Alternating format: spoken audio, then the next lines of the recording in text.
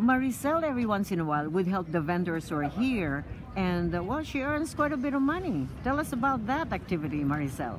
Um, sometimes I would help out with this lady because she just got a baby. Uh-huh. So she would come around like a few hours and I would stay there and take care of the uh, her shop. Mm-hmm.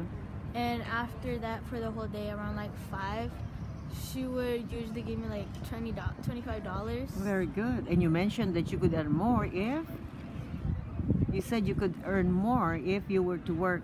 Oh, if Yes. I were to work with her like for every every Saturday, I would get around like $80. Wow, that's nice. Young as you are, you can earn a lot of money. Do you see yourself setting up a business someday?